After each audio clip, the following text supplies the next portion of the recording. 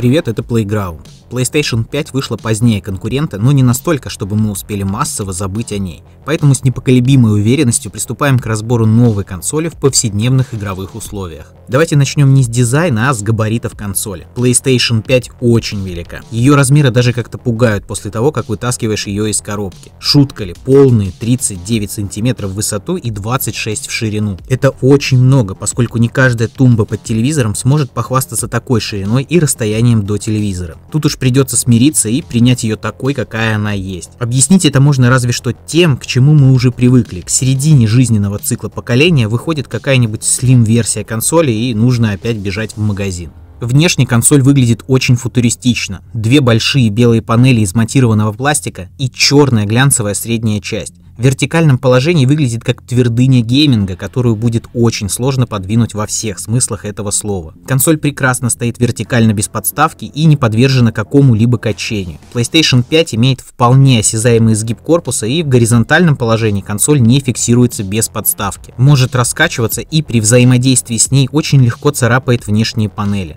Ровно в середине появится вполне различимое пятно от соприкосновения консоли с мебелью. Центральная глянцевая часть очень маркая и это невероятно раздражает, ибо спереди на ней находятся кнопки включения и выемки диска. Стоит один раз прикоснуться к глянцевой поверхности и можно смело начинать детейлинг консоли. Боковые панели легко снимаются и меньше всего подвержены сбору отпечатков пальцев и пыли. Внутренняя часть имеет выштамповку, которая поражает своим видом, если вы, конечно, ее разглядите. Она выполнена в виде пиктограмм кнопок геймпада. Это очень стильно, необычно и является своего рода пасхалкой. Будь вся внешняя часть крышки корпуса с такой же штамповкой, то дизайн консоли стал бы культовым. Подсветка в этот раз реализована еще более нативно. Она располагается в гранях центральной части, отдавая свет в бок, ровно в белые панели консоли. Рассеивание максимальное и потому подсветка выглядит очень органично. Консоль все-таки имеет склонность к изданию постоянного звука системы охлаждения. Это едва различимый гул, который всегда слышно на фоне. Он совершенно не критичен и нужно вслушиваться, чтобы его услышать, но он есть. Благо он не усиливается при игре. Как долго бы вы ни играли, звук не становится громче. DualSense это новый геймпад и визуально, и технологически. Он стал чуть больше и чуть тяжелее предшественника. Большая панель подсветки сверху ушла. Теперь за этот момент отвечают две тончайшие полоски, которые расположились по бокам от сенсорной панели. Технологическое изменение – это тактильная отдача. Ощущения от игры действительно поменялись в лучшую сторону. DualSense внутри себя имеет ряд вибромоторов, которые расположены каким-то совершенно специфичным образом,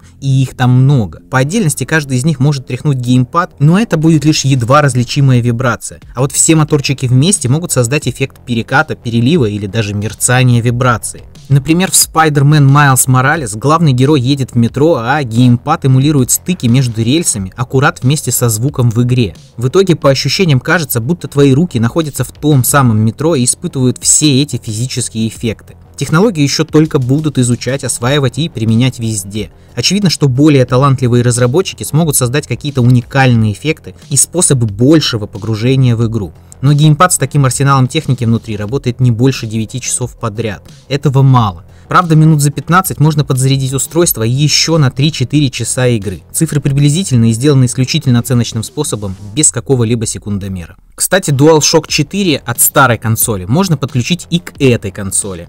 Еще к PlayStation 5 можно подключить внешний жесткий диск через USB и использовать его как хранилище для игр. Вы уже знаете, что внутри есть слот M2, но он пока что закрыт на уровне прошивки. Опять-таки, доступный объем памяти 660 с лишним гигабайт. В современном мире этого скорее мало, чем достаточно. С другой стороны, все стартовые игры и несколько мультиплатформенных влезли и еще осталось место. Так ли много игр за раз вы устанавливаете и покупаете при текущих ценах? Но почти все вышесказанное не имеет никакого значения, если для игровой платформы не выходят игры. Мы все тут только ради этого. И на старте у PlayStation 5 есть сразу три крупных и значимых эксклюзива. Ремейк Demon Souls, Sackboy Большое Приключение и Человек-паук Майлз Моралес.